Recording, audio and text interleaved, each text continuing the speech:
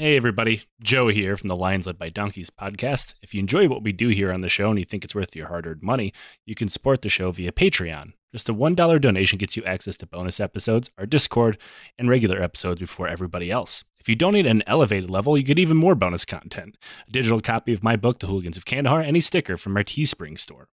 Our show will always be ad free and is totally supporter driven. We use that money to pay our bills, buy research materials that make this show possible, and support charities like the Kurdish Red Crescent, the Flint Water Fund, and the Halo Trust. Consider joining the Legion of the Old Crow today. And now back to the show.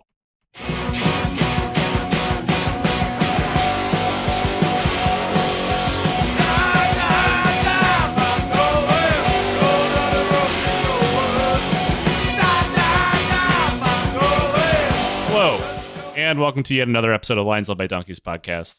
I'm Joe, and with me today is Jack Trumbull, host of the Let's Talk About War Games podcast, crafter of words.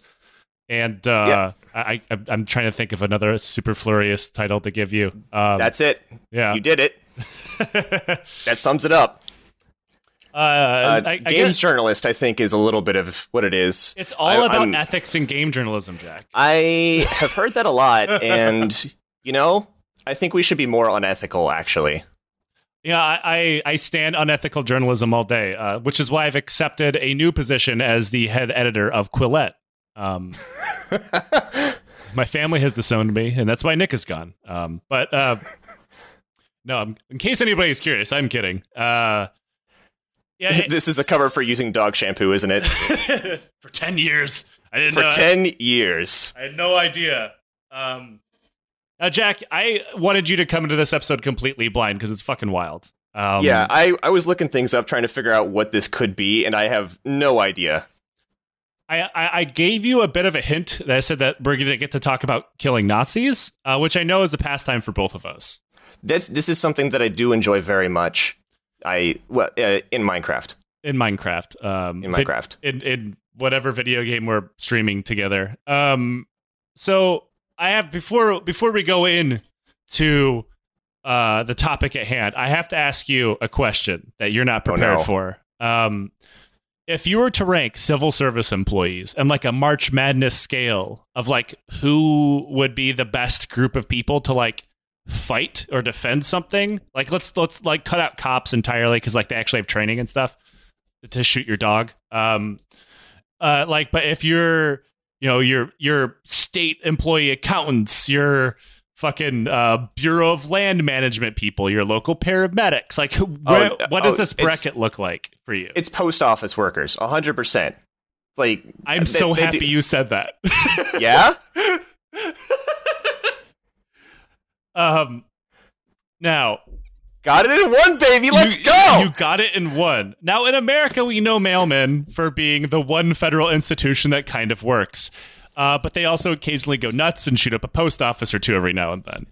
As Um, you do. As you do. Um, uh, uh, you know, a pastime that has since been taken up by the school children of America. Um, but they are also the people who will rain or shine deliver your mail. And that one time in a window ever so brief that America remembered they existed enough to make a democratic election possible. But what if I told you the mailmen of Poland, more specifically the city of Danzig, excel at something other than delivering your mail? They were really good at killing Nazis. And you know what? I love that about them. But Jack, they're not just Nazis. They're Nazi cops. Nazi cops. Fuck. That's my least favorite kind of Nazi next to all of the other kinds of Nazis. It's a it's a flat plane that I hate them all. Um, This is true. now, the city of Danzig had a very interesting history to begin World War II, and we do have to take kind of a knee on the mailman story to to figure out why this fucking happened uh, and why exactly Polish mailmen were the first people to pull triggers of World War II. So why did World War II happen, Joe? So it all started when Hitler didn't get into art school. No, I'm just kidding. Um, anyway, History Channel, if you're listening, I am available. Um, now, we do have to figure out why exactly there were a bunch of Polish postal employees in a what was previously a German city. Uh, and that is we have to talk about the free city of Danzig. Um, Danzig is a pretty weird history that I was not in complete, I was not totally aware of uh, before I started researching this. Um, at various sporadic times uh, throughout its history, it had weird differing differing forms of independence as a city state. Um, like back when the Prussian Confederation was squaring off against the Teutonic state of Prussia. Um, also, Ugh. yeah, it doesn't sound good. Uh, also, never Napoleon. It's it, you. It's never good when someone's Teutonic or, no, or I, Prussia. The Teutons and Prussia, like those adjectives frequently go hand in hand with like mass murder at the minimum. Yeah. Uh, Sorry to any Prussians listening to this. there, there's no such thing as Prussians anymore. They're all just Germans. Well, Anybody who's still claiming to be Prussian is holding on to some very weird historical ties. that that's a that's a dog whistle right there. Yeah. And it's a dog whistle that makes me very uncomfortable. So then that little thing called German unification occurred after uh, kicking France in the teeth, and then we had the Empire of Germany. Uh, you know, and thankfully nothing ever bad happened from Germans getting together uh, all over Europe ever again. Um, yeah. Now, the Empire of Germany got shit kicked in during the Great War, leading to the empire being picked apart by the victors. Uh, one American president, a guy named uh, President Woodrow Wilson, had something called the 14 points, which we won't get entirely into. Um, but It's not the first time 14 words will be used negatively in this. oof, nope. yeah. Sorry. Uh, now, one of the points were self determination, um, assuming that you're white, anyway. Uh, sorry, Vietnam. Uh, enjoy the French. Um, now, uh, one of the things that he backed was Polish independence, because even Woodrow Wilson, while a massive fucking racist, still considered Polish people worthy of independence. But in order for this new Polish state to be economically viable to a lot of these people, uh, they needed a, a access point to the sea. This meant that Danzig would be separated from Germany and given to Poland. And I have to point out that every time I say the word Danzig during this episode, I am also thinking of Glenn Danzig. I know everybody else is too. it's, I we we we're moving on. We we we all know this. uh, yes, the intro will probably be the Misfits. Um, they don't they don't seem like they would sue me. I, you know, you never know. That's the only one way to find out. I don't know. Sabaton hasn't sued me yet, and I've used their intro like a dozen times. Well, I mean, like, there's they're all over the place now. They've got bigger fish to fry. Yeah. Um, now, so uh, obviously Woodrow Wilson wanted this to be given to Poland. Other people did as well. Some people didn't. And uh, the one of the more unifying facts is like if we took Danzig away from the Germans, it would punish them some more. So that's a good thing. We should move on with that. Um, Just a great mentality in general. yeah, because that certainly didn't come back to bite everyone at play in the ass. Um, It was the entirety of the Treaty of Versailles was like, let's just fuck them over and then look away for 30 years. Yeah, nothing bad could happen. Um, No, nothing bad could happen. Uh, but then you know, someone pointed out to Wilson, uh, again because Poles are whites, that um, part of the 14 points is self determination, and you know, uh, this does it. This kind of violates that since 90 percent of Danzig's population was German, not Polish. So they're like, well, you can't just give all these Germans to Poland. That would violate your own rules. Um, so they went for a compromise. Danzig would become a semi free city state once again. Um, now, despite agreeing on most of this, almost nobody thought it would work. European leaders correctly point out that giving German land to the Poles would create a deep hatred for the Poles within Germany and would almost certainly lead to another war. I don't know about that. Yeah, weird how that happened. Um, this was bookended by the French and British leaders openly talking about how they wouldn't really care enough about it in order to defend it should that happen. Oops. Um, now, credit where credit's due, I suppose. That was later changed. Uh, that they did recognize an attack on Danzig as an attack on Poland, but by then it was far too little too late. Um, but the English didn't want to give Poland to Danzig, uh, and the French and Americans didn't want to give it to or allow Germany to keep it. So that was why the compromise was we need to fuck over Germany. Let's make this work. um, and you know, the another problem with all of this was is absolutely nobody consulted the people that lived within the city about any of this. Uh, nobody was happy. Uh, the Germans That- wanted that's to a be part classic move. yeah, it's it's it's a classic German or sorry French, British, and American sitting around a table. How can we fix this problem without ever like referencing or asking any of the people that it might impact? There are so many straight lines on a map that like come from this mentality. Yeah. Um. Thankfully, America, England, and France would never do that again. Isn't that right, Northern Ireland? Um, Uh, uh, uh, or Iraq, or Afghanistan, or, the Central African Republic, Middle East. Whoops. the, the list goes on. Uh, now, the, the the Germans within the city want to be part of Germany. The Polish in the city want to be part of Poland. And the problem was is that they couldn't be those things anymore because they are citizens of the city of Danzig. So they were all stripped of their citizenship. Fuck. It's just an absolute dick move all the way down. I just hate it when I'm living somewhere and then suddenly I don't exist. Yeah, I'm sitting somewhere where that happened not that long ago. Fuck. um, and just to piss the people off even more, you know, like they had the city had to have its own government, right? But be, but it was a semi-free city state. That nobody was willing to be like, "You're fuck it, you're a country now," right? They had to have some level of authority over it. Well, it's post World War One. What do you think that very dumb authority is? Oh, they're bringing back the Holy Roman Emperor. The League of Nations.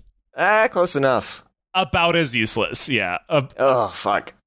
Um, for people who are unaware, the League of Nations is th- probably the most useless and most powerless international body to ever exist. It's like a worse UN. It's exactly what that is. Um, I, it was completely toothless, had no uh, uh, no ability to enforce anything. I mean, ask Ethiopia.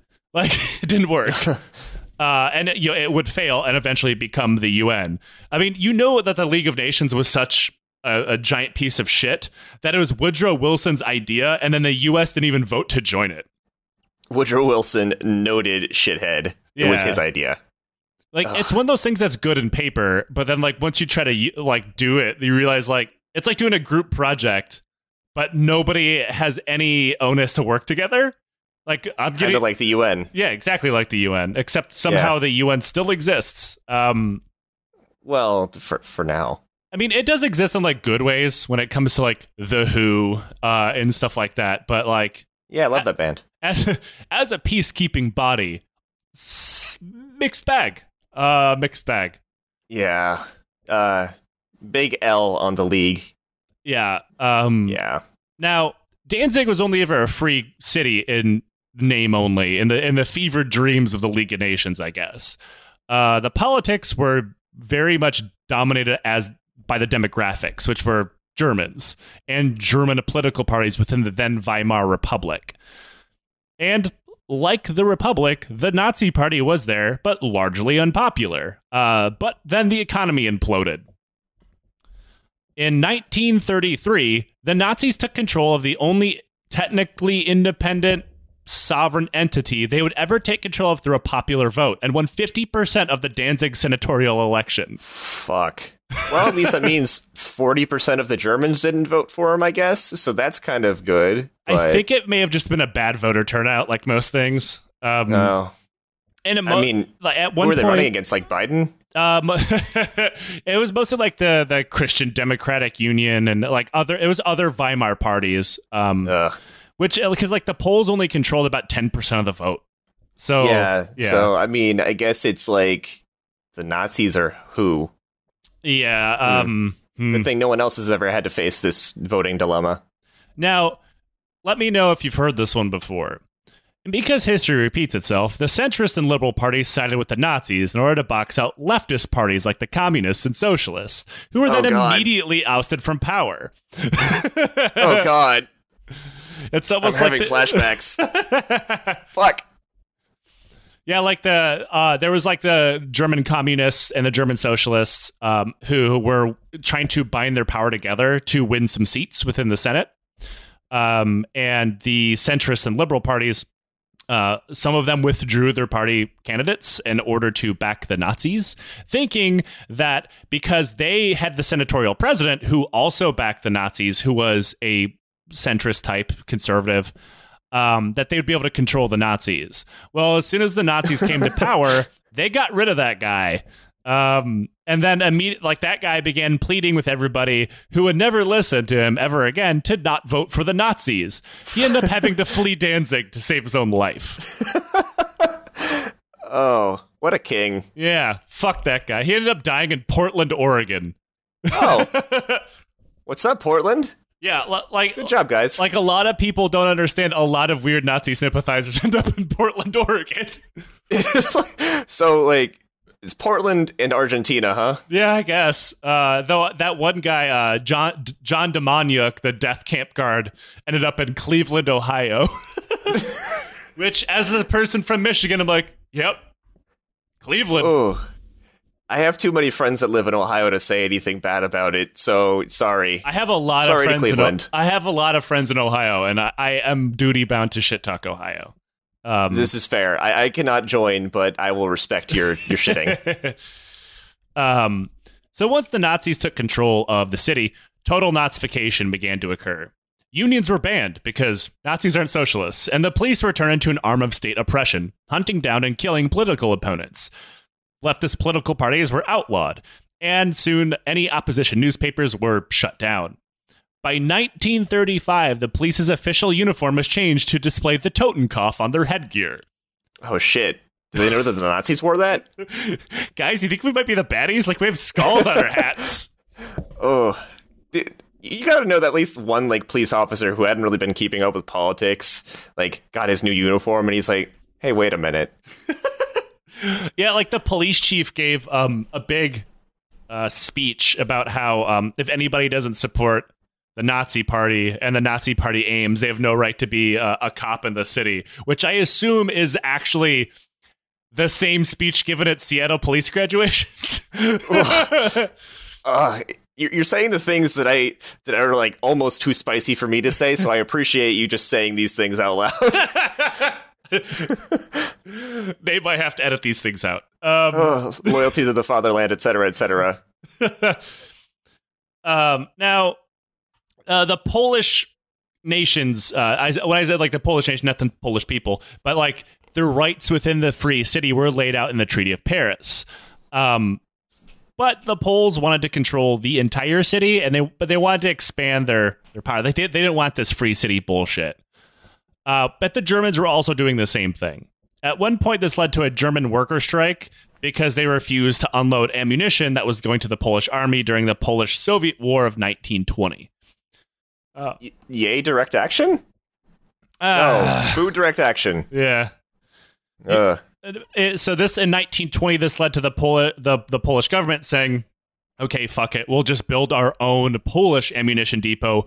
Guarded by Polish soldiers, and that With employs blackjack Pol- and hookers. with Pol- with Polish blackjack and Polish hookers.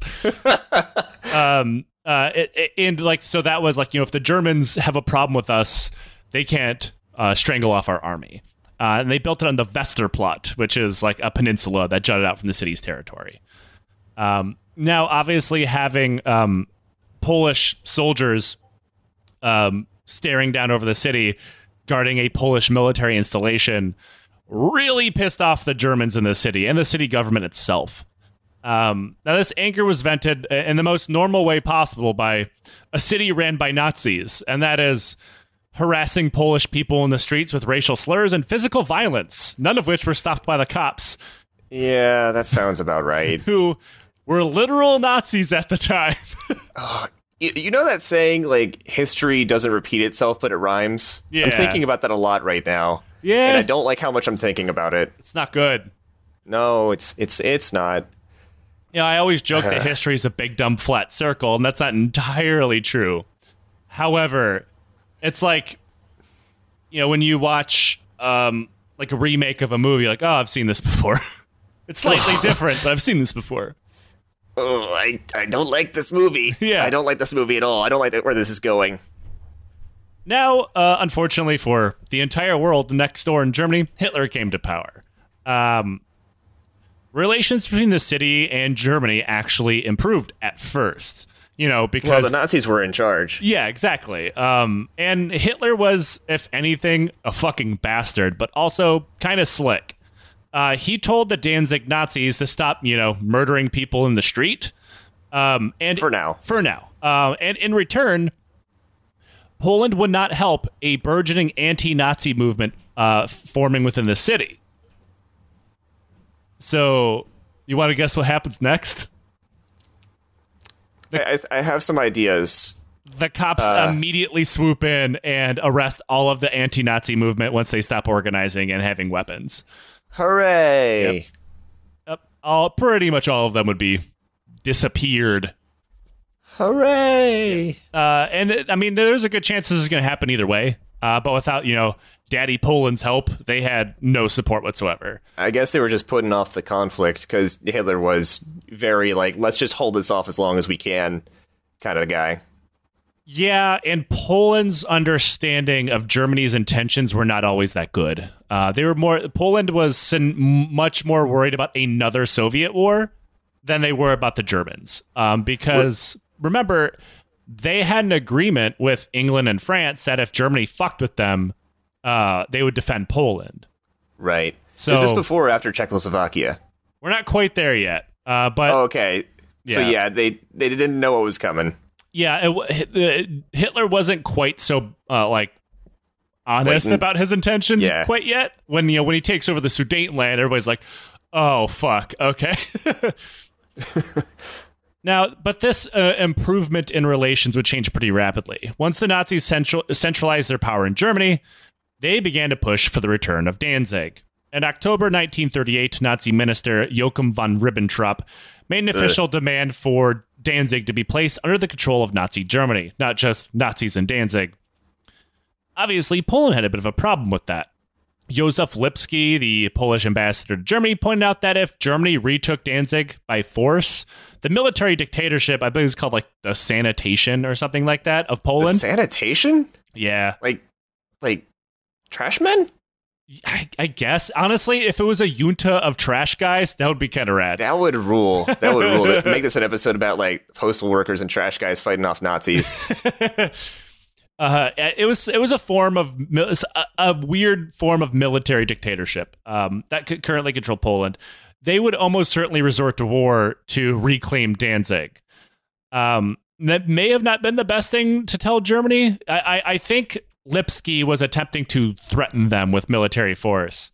Ugh. Not a good call. Um, It threatened the Nazis like we're gonna get you, and well, we see how that plays out. yeah, and the Nazis like, all right. yeah. All right, bet. See what happens. Yeah. Now, while all this was going on, the containment policy towards Hitler was in full swing by Neville Chamberlain. Um, that's you know the the British Prime Minister as well as the French and the Soviets were attempting what they called the peace front, um, and that is you know give the Nazis what they want, maybe they won't start a war. Um, and Poland didn't really see that if Poland was thinking about a war with Germany at this point, it was mostly over Danzig. It wasn't like they're going to take over all of Poland and start killing people. Um, it was like they might take over our city. Um, and they were much more worried about the USSR coming back to finish the job. But there was an increasing amount of tension between all sides that eventually led to the outbreak of World War II. Germany would go on a PR push claiming they just wanted Danzig, not Poland. And this did find some purchase with members of the future Allied government. This included Canadian Prime Minister at the time, William Leon Mackenzie King, who uh, would eventually, you know, lead Canada to war, but would blame Poland for the war in general for not giving them Danzig. Fuck. Yeah. Now, after this, Hitler would go, go on take the Sudetenland uh, after demanding freedom for the Germans there and then using that freedom to force a vote to then steal the entire chunk of land. Um, now, this made the Poles and Danzig pretty goddamn nervous. Uh, they were, I mean, they were doing the same blueprints to take over Danzig. And before too long, the Nazis in Danzig were bringing guns from Germany and beginning to fortify German owned buildings within the city. Oh boy. Yeah. It- it's it's always a good thing when you see the other ethnicity in your city just suddenly becoming extremely armed for some reason. Yeah, it's not a good sign. Uh, that eh, eh, heavily armed Germans anywhere should make people nervous. Especially in Danzig. yeah. Um, now, in July, the British changed their promise that uh, before this, the British did not consider Danzig part of Poland. Therefore, they wouldn't defend Poland if they went to war over Danzig. But that changed in July of that year. Then, to prove that the Nazis actually didn't care all that much, in August, uh, the the Nazis of the Danzig Senate said they would no longer recognize Polish custom laws within the city. Uh, the Poles retorted by saying if custom laws were ignored, their air force would bomb the fucking city. That's a rational response. Yeah, I mean it's it's escalation that I believe the Nazis knew that the Poles had no chance. You know, um, like it's brinksmanship, but they want the end goal. And yeah. I I do truly believe that the that the Nazis didn't think that France and England would throw in with Poland. Like they pro like at this point they've given them so much. They're like they'll probably fucking dip out. You know. I mean, yeah, they they they, they pussied out so much. Like, uh, what's going? What's different about Danzig? Yeah, exactly. You know? It's even. Le- I mean, if you're at this point, if you're going to go to war over anything, like the Sudetenland made much more sense, uh, or Austria for that matter, or remilitarizing the Rhine. Yeah, uh, or literally any of these things they're willing to overlook. But no, no, literally anything to, else. Yeah, yeah. Or I don't know, the Condor Legion. All of these things they're willing to overlook. And at this point, I think Poland was starting to think they might be on their own uh, which is why they started flexing hard. Um, and maybe Poland. Uh, remember, Poland is still more worried about the Soviet Union. Um, I don't think they think that the Germans are so ready and already planning to go to war against them, and and uh, their plan White, which would a terribly named plan in retrospect. Mm-hmm. Uh, but you know, their plan to invade Poland was pretty much already made by this point. This is July; they would invade in September. So, like, the plan's already done and Poland has no idea. Uh, Call that an oopsie. Yeah. Uh, and then the Senate of Danzig said fuck it and then voted just straight up voted to rejoin Germany entirely, disregarding Poland and all of their other agreements. Now, remember, I we've already talked about the League of Nations. Um, the city is under the command or administration of the League of Nations, which actually had the power through the, the Constitution to depose the Nazi government of the city when they violated the agreement, like they did by first ignoring Polish custom law and then voting to rejoin Germany. But France and the UK pressured them not to depose the Nazi government, hoping that they'd be able to leverage the city to cut a deal between the Poles and the Germans to avert war. Well, we need unity right now, Joe. Yeah, thankfully this worked. The end. Uh, yeah, Hitler was like, "That's it. You're right. Thank you for negotiating with me. You don't need to burn down my entire country and corner me in a basement until I shoot myself. He did say that actually. Yeah, yeah. He it, it was the small print. Yeah. Now, in case anybody has never heard of World War II before, this had failed entirely. Uh, instead, the newly empowered Nazi government of the city fired every Polish worker that worked for them, passports were revoked, and the Senate confiscated Polish goods. The Germans, then to support their bros, sent the battles, battleship the Schleswig Holstein to park at the Danzig port, its guns pointed directly at the Polish installation on the Westerplatte. Now, it's fine. this is fine, normal. It's just a friendly drive-by wave with cannons, giving us I a mean, salute. In, the 30s, at this point, you'd just be like, "Yeah, this is this tracks." Yeah. Now, while all this was going on, obviously all hell was breaking loose in the city as the Polish citizens began to panic. Within the city, there were several Polish institutions that held sovereignty, kind of like an embassy, uh, but not an embassy. Um, one of those things was the Polish Postal Service. Uh, like, this was not a part of the city of Danzig, this was a sovereign entity of the Republic of Poland. So they assumed like, while all this wildness is going on, no one's going to attack the post office because that's Poland. Uh, I I already am just envisioning the action movie just based on this premise alone. I love this already. Knowing this, Poles in the city that couldn't leave Danzig to a different country or get back to Poland or just flee entirely fled to the post office, hoping to be protected by the government that they recognized. Oh, it's the one time anyone's ever been happy to be at the post office. Right, right. Someone, someone in the lobby, as like people are kind of like, "Can I still send out my mail?" he hasn't seen the battleship in the harbor yet. now, the Polish government knew that people were asking for help, but they didn't have a whole lot to spare. Uh, so instead, they sent a single Polish army officer, a combat engineer named Konrad Guderski, and a couple dozen weapons to the Polish uh, post office in Danzig. Now, once there, Konrad met a couple dozen postal workers, a lot of civilians, and most of mostly the postal workers' families. Uh, they hid themselves in his post offices, hoping to flee the roving gangs of literal brown shirts and cops in the street, streets who were now just committing murder. Uh, and they found protection. Like at first, the SA and SS militias and like the cops did not fuck with the post office um, because war hadn't started yet. Uh, like at this point, it was you know they were edging war, like that that that was coming. Just It's they, they edging war. see you tune in for the Lions Led by Donkeys podcast, so I can compare all war to coming. So it, it really hadn't ejaculated into.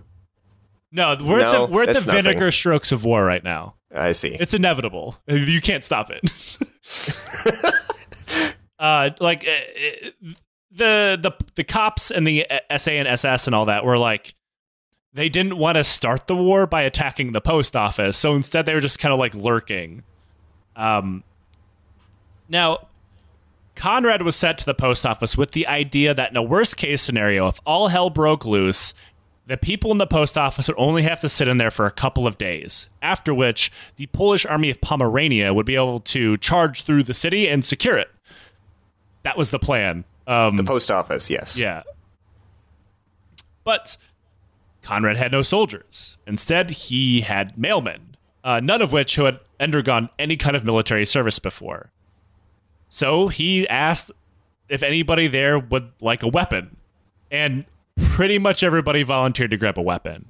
I mean, hell yeah, dude. like, there's Nazis outside. I'm getting a gun. Yeah, and Conrad, being the only trained soldier there, decided he needed a second in command that could, you know, talk to these people he, he did not know. So he named Alphonse Flekowski, a 40 year old postal supervisor without a single day of military training, his second in command. Oh, do you think this was like his best day of work ever? Like, fuck yes, I've been waiting for this moment. I have been wanting to shoot Nazis for so long.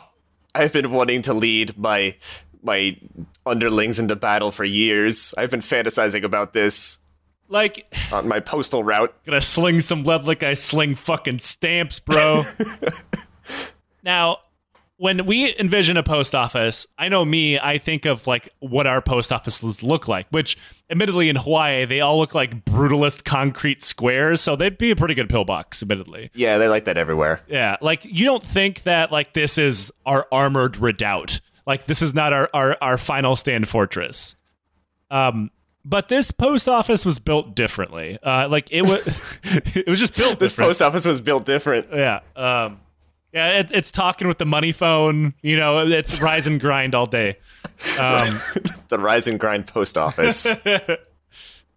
uh it like it was a huge multi-building compound uh made out of like thick brick and then it had a retaining wall.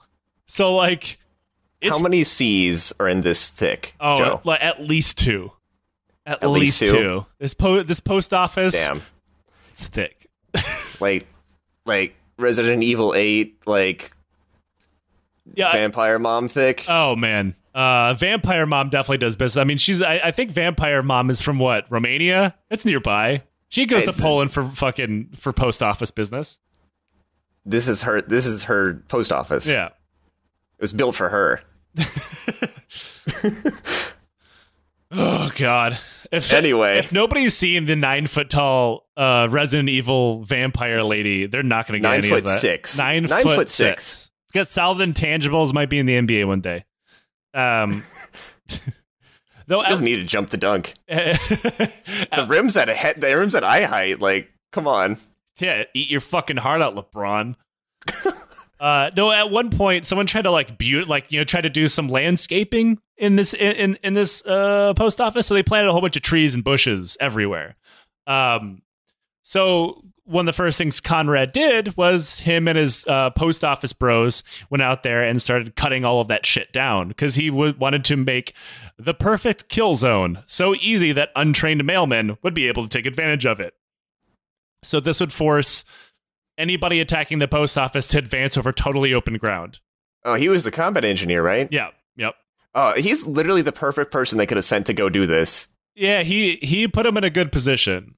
Now, most people didn't think that any of this would be used. Um, like Conrad and most of the defenders assumed that even if the idea of war with Germany was looming, most figured the combined powers of the French and the British would convince them that, like, maybe don't do that, or would buy Poland enough time where, you know, four to six days would elapse where the Polish army could come and save them. Like, they didn't see themselves as targets in that post office.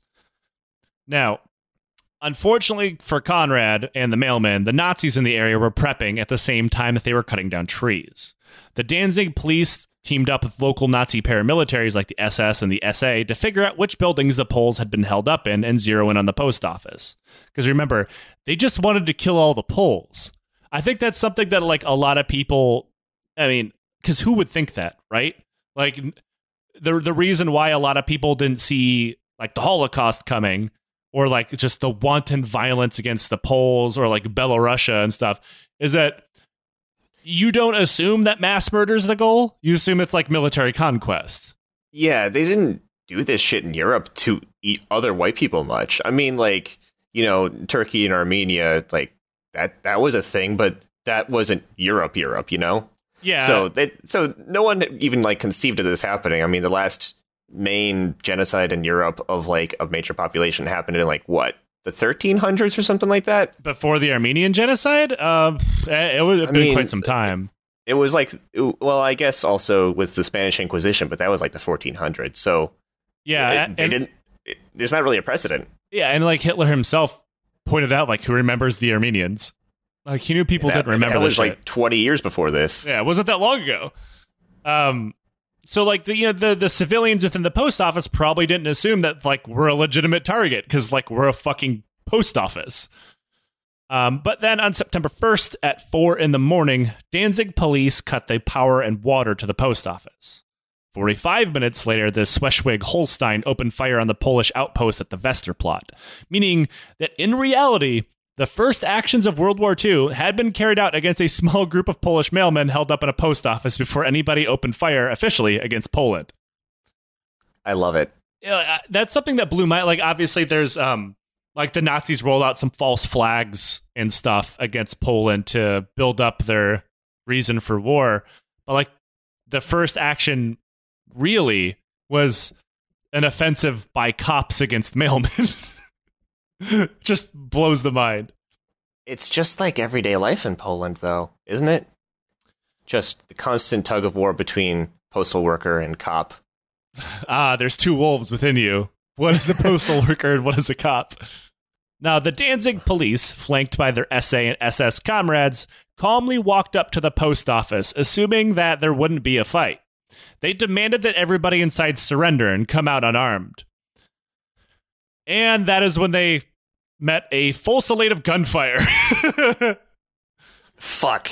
Yes. Uh, like, uh, now there was a one uh machine gun within the post office. It was the Polish. They had a machine gun. It was the Polish version of a BAR uh, and a whole bunch of uh, rifles and pistols and stuff. So like, fuck. And the guy using the BAR was Conrad because he didn't have enough time to train every- everybody on it. So he just stood in a window and started hosing people because like, in front of them is like an open field, but then also a city street. Like, there's nowhere for these guys to run. so they just get hosed down in the middle of the street, and like they the the Nazis thought that this was going to be such a like a cakewalk that the local party leader, a guy named Albert Forster, showed up to watch the event like a high school football game or something. Like some random Germans in the city came to like watch the spectacle of Oh man. And then they just watch all these dudes get obliterated by gunfire. God, it, it never ends well. Like first Bull Run during the Civil War, like civilians showed up to watch the battle like because yeah. they thought it was going to be a cakewalk, and then they caused a mass stampede that blocked half the army from escaping back to DC. Right, and then I think this happened in World War One. Also, like some civilians just got shattered by artillery when they were going to go look at the trenches in France, like towards the start of it. it people don't learn; they're like, "Ooh, a war." Yeah, like Israelis were doing that during the Syrian, uh, during the worst part of the Syrian civil war because they could like watch the artillery strikes from like the rooftops and stuff. It's not. It's not a spectator sport, guys. Go home. Um, now, obviously, walking into machine gun and rifle fire at pretty close range convinced the Nazis to scatter, leaving their dead and wounded behind. They they tried to return fire and uh, eventually brought in three armored cars to support them. And one of those armored cars, like one of the the mailmen, got close enough to destroy it with a hand grenade. what he he he blew up a armored car with a hand grenade. What? Yeah, like I I really want to think that he said some like action movie shit uh, beforehand. He's like, I got to deliver one last package. Here's ran. your fucking mail, you ugly son of a bitch.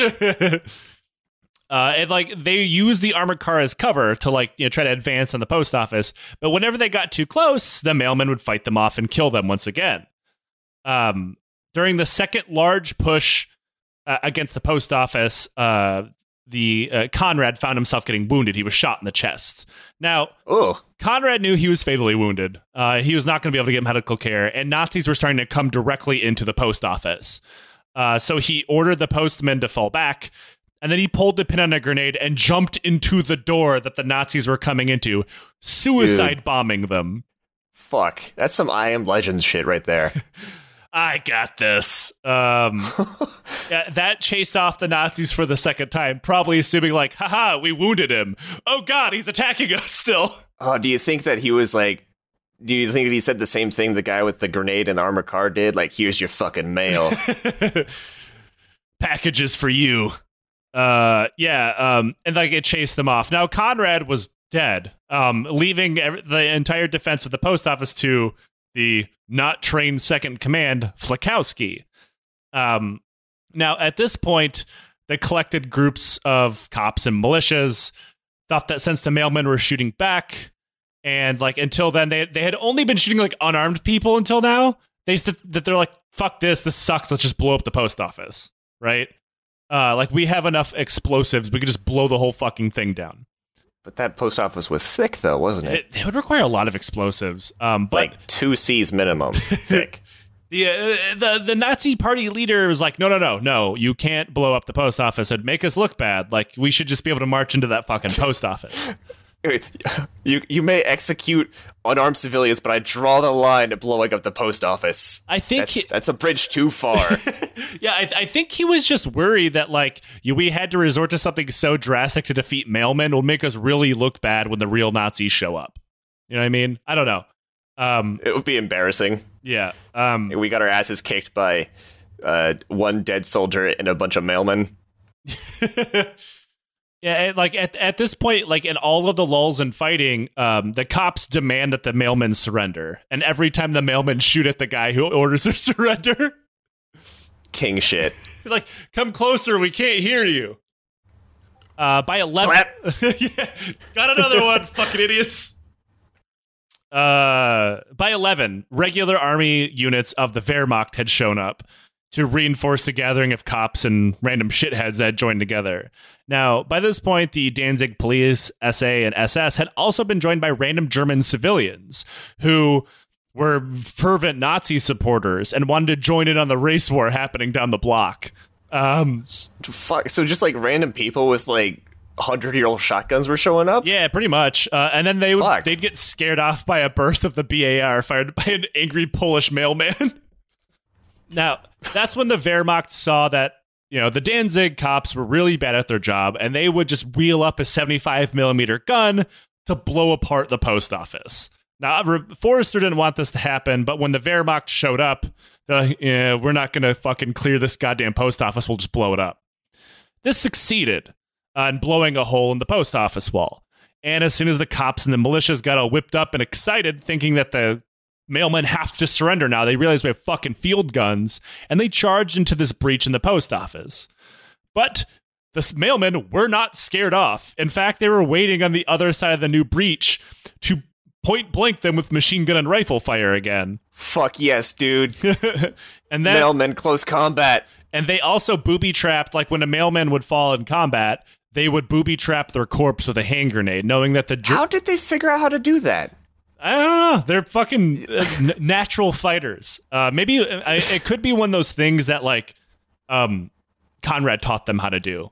I guess he was like, chop down these trees. Here's how to booby trap your friend's corpse. Yeah. All right, go. He, uh, I think Flakowski knew that like we're trophies now. Like we've we've become such a thorn in the side of these people that they're gonna drag us out because now like journalists and shit are outside. There's like there's a ton of pictures of this random fucking battle at a post office. uh, because uh, so many members of the press showed up. And the, the mailmen knew, like they could see them from the window and they're shooting at them too. it's about ethics and post office journalism. Yeah. Uh, so like they're like they're gonna try to use our bodies as, as trophies and they're gonna try to grab them and pull them out if they come in. So they started putting hand grenades under them because like one of the things they had was a whole crate of hand grenades. Uh, so uh, like that happened quite a few times the nazis would come back in the breach grab a body blow themselves up. And you know again the Nazis demanded a surrender, and again, the mailman shot the guy that, has surrender how long has this been going on for? Because you said this is like around eleven, but like this it sounds like they've been shooting Nazis for like yeah. The start at four a.m. It is now four a.m. Yeah, they've been doing this for like eight hours, just shooting Nazis trying to come into the post office, just churning Nazis into fucking jelly. Yeah. Oh, dude, these are the best post office workers ever. Now, Forrester was getting pissed. He was beyond frustrated, so he asked the Germans at the Westerplatte um, for indirect fire support hoping they could drop artillery onto the post office and finally end this bullshit. So the Nazis at the Westerplatte agreed, and they began to fire shells into the city. Unfortunately for everyone but the mailman, the cops had no idea how to correctly call for fire support. So, uh. so the, oh, no. the incoming shells landed wildly all over the city, blowing up random buildings, and one shell landing directly in the midst of a group of Nazi supporters who had gathered to watch the show. fuck. Just an incredible self own. Like, yeah, we, are gonna go watch the the glorious Wehrmacht uh, take over the post office, and then just get rocked by a fucking naval shell. You know, in terms of like an anecdote that perfectly sums up German performance in World War II, this is it right here. Just like, oh yeah, we're gonna curb stomp these fools, and then a bunch of post office workers kick their asses and then they shell themselves. well, welcome to Antifa, Polish Postal Service. Welcome to the resistance. Yeah. Uh, now the Wehrmacht finally got fully involved because they were getting shelled by their own guns and corrected the shell fire before they accidentally got blown to shit. Now, once accurate shell fire began falling onto the post office, the post office did not stand much of a chance. But it also had a basement, so the mailmen and the and the refugees they were protecting retreated down to the basement as the entire building got blown to shit above them. Smelling victory, the cops rushed in again, making their way downstairs and run- running directly in to that goddamn BAR Fuck. Littering the stairs with dead and wounded Nazis who I'm pretty sure the Poles then beat to death. Like if they fell into the basement, they just get their shit kicked in. They keep falling for it. Like, ugh. I mean, the Nazis don't always like they're they're not known for being very intelligent, but like, come on. I like come on. Yeah, I think at this point, like the Poles realize that like they're not going to let us surrender. Like we're and remember a lot of these mailmen are literally defending their families who are with them. They're yeah. like they're not just fighting for a post office. They're like kids and wives are in the basement with them. Um so after that, once again, the Nazis demanded a surrender and the mailmen refused. Though this time it, it's noted that the Nazis were smart enough to do this out of eyesight. Uh, so they didn't get shot just around the corner of the stairs. Yeah, exactly. They're like, nope, nope, yeah. don't go near the don't go near the stairs. They'll just shoot you. um. Now, the local police commander o- ordered a local fueling truck to be brought over to the building. When it arrived, the fire department of the city of Danzig jumped in to aid the cops in pumping fuel down the basement before setting it on fire with a hand grenade. Even then, the Poles tried to hold on for as long as they could uh, firing at Nazis they could see. But as the fire encroached on them, three people were burned to death, and they realized that they were fucked. They finally decided to surrender to spare their families, you know, burning to death. While this was going on, uh, six people saw an opening and fled out of the back window and in- into the city, escaping the hands of the Germans. Oh well, at least some people got out. That's cool. Yeah. By the end, fucking. Ugh. What were you saying?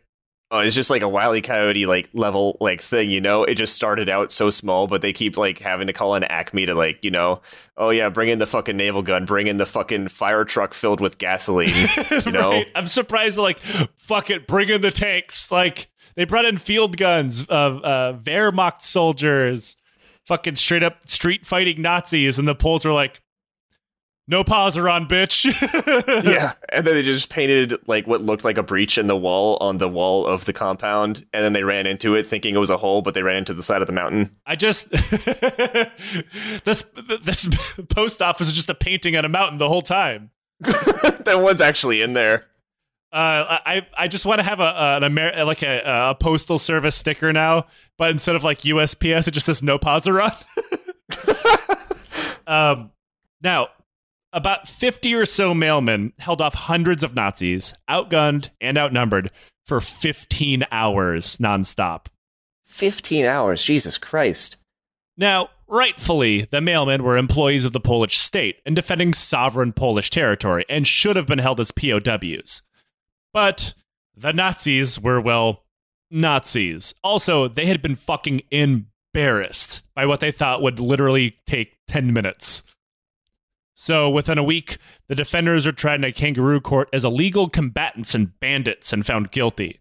Though, I think legal, like, to be fair, if they were legally kept as POWs, then I don't think they really would have helped them at all due to, the, you know, all of the murder the Nazis visited upon Polish POWs.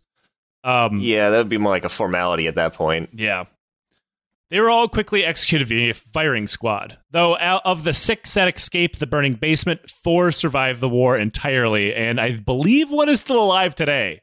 Um, now, we rarely lean on karma as a concept of this show, but in order to end on a bright note here, Sturmbannführer Max Pauly, the SS officer who ordered the executions of the post office fighters that day, would eventually be found guilty of war crimes and would find himself swinging by the end of a rope on October 8th, 1946. Get fucked. Oh, hell yeah. now, um, Jack, we do a thing on the show. So this is how we're going to end it. I'll, I'll, actually, okay. I should say, do you have any closing thoughts on the brave fighters of the Polish post office? I do actually have a thought about this. They made a board game out of this. I looked it up just what? now. yes, it's called Soldiers in Postmen's Uniforms. That is amazing. And you you play as the Polish. It's like a, a single player game, but you play as the Polish, uh, gunning down all of the Nazis, and it's basically like a how long can you hold out kind of thing. But it's a board game. It's a board game, yeah. And this is, is this board game easily available? Uh, I'm looking at it right now on BoardGameGeek.com. Like, there's they're selling it. Uh, yeah, it it lists uh, places you can buy it. Looks like the only place that are listed right now is eBay, but I'm gonna have to look into this. Uh, like it, uh, it doesn't look amazing. like it's on eBay right now. But ah, like, damn it, fuck. I'll, I'll, send you the link. That reminds me, there's a um, there. Uh, yeah, and that is the uh, monument to the postman uh, that's on the cover there. Um, but there's a board game that Nick and I joked about getting one time, but we could never find it because it's so rare. It's almost like a D&D type game with all of the in-depthness of it, but it's about sure. the I believe the African campaign of World War II. Mm. Um more specifically like the Italian component of it. And it's like well known for being the most ridiculous board game ever to the point that like the Italian soldiers in order to eat need pasta points and shit like that. Fuck. It's absolutely ridiculous. Um it, it's been out of print for years because like it's almost unplayable. Uh, oh, like a, a, single round takes days. if if you can like find anything about this, I will do a deep dive on this fucking thing. I need to know about this. I I will that find rules. it um and I will let you know.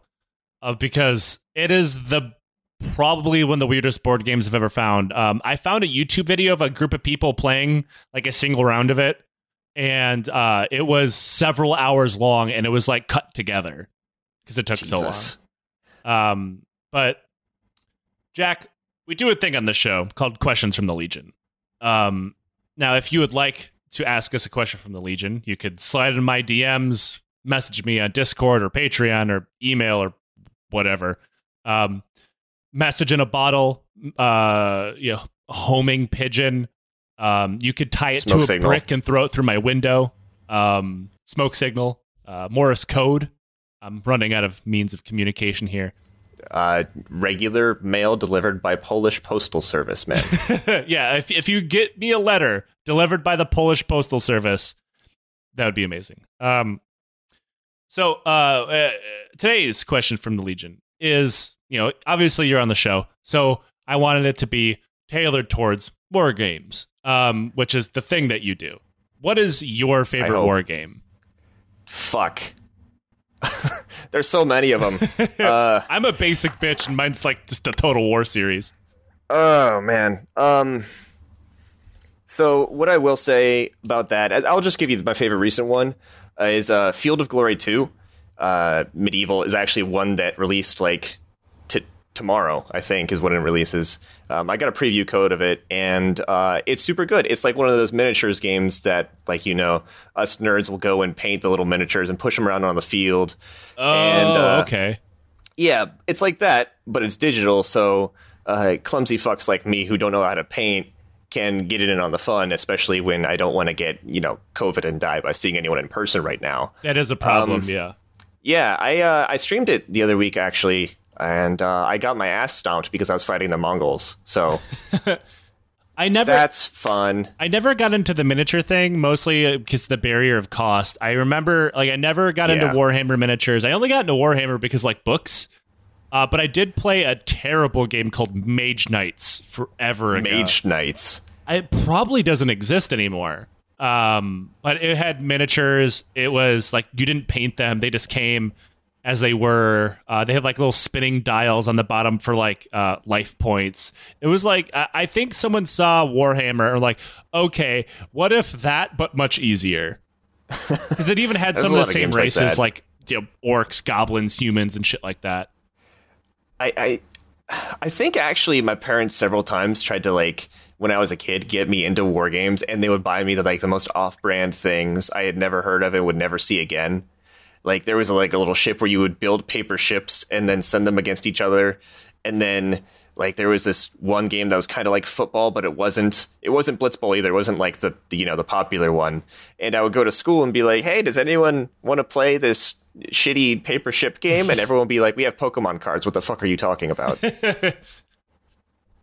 I never heard of that one. Um yeah I, I don't know. so jack thank you for joining uh, me as I await the return of, of Nick from the United States military. Uh, and this is the part of the show where the guests uh, get it, it, it's the plug zone. Uh, so you have projects zone. that you do, and this is where you can plug them, and people should go and listen to them. Uh, please. So I, as Joe mentioned earlier, run a podcast called Let's Talk About War Games. We do what the title says. Um, it's with uh, another freelance writer friend of mine, also named Joe. So it's kind of easy. If you're listening to this episode, you don't have to remember any more names. it's um, Joe's all the way down. Yeah, and we also have a blog. It's Let's Talk About War Games uh, at the. It's a WordPress, and we write about games and stuff there. And that's pretty much it. You can follow me on Twitter. It's at Jack underscore Trumbull. Um, I shit post a lot. Uh, yesterday, I just wrote the tweet Muppet boobs because that's the thing right now. That's some high quality the, posting, sir. Well, there's there's a D and there's a new D and D show coming out where they have Muppets. It's like a Muppet based D and D show, but one of the Muppets just has huge tits. That's deeply disturbing. it, it's not fun to look at. I'll tell you that. Don't like it. Um, uh, I I remember. So I found your uh, uh, well, it wasn't your blog. I believe it was a website you were writing for at the time, mm-hmm. and you wrote a review of a game that, um, in my opinion, uh, correctly pointed out that a game developer was peddling in uh, the clean Wehrmacht theory. Yes. And they posted, a game developer posted a long screed pretty much personally attacking you, which is yes. how I knew I was into your brand. yeah, um, I and then I did an episode about Clean Wehrmacht, also kind of like the one uh, you did here. After that, because I was so pissed off about it, um, it was kind of weird having that experience, but uh, I think that due to UK libel laws where this was posted, I'm okay. And uh, the article doesn't exist anymore due to some changes with the site. So I'm basically scot free. So nice. F- fuck off, I guess. I don't accidentally, you know, support Nazi theories. yeah, it's, I don't think it, it, it, wasn't intentional, but you still did it. Sorry. Yeah. Um. So I guess we can close out that. Um. Until next time, obviously, Jack. Thanks for coming on. Love to have you on again. Yeah. And uh, until next time, don't accidentally do clean Wehrmacht theory. Hell yes.